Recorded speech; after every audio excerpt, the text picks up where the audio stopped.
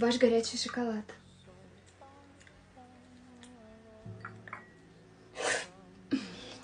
Что это такое? Что случилось, малышка? Что случилось? Я обожглась этим дурацким шоколадом. Потерпи, милая, я сейчас что-нибудь придумаю. Почему вы не предупредили, что горячий шоколад такой горячий?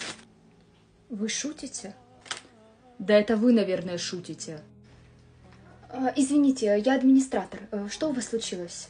Случилось. Случилось то, что у вас работают хамоватые и безмозглые сотрудники. Видимо, произошло недоразумение. А, Как мы можем исправить нашу ошибку? Пусть извинится. И вычтите это у нее из зарплаты. Таня, извинись сейчас же. Мне жаль. Вот и славно. Мне жаль, что в твоем возрасте у тебя не хватает ума отличить холодное от горячего.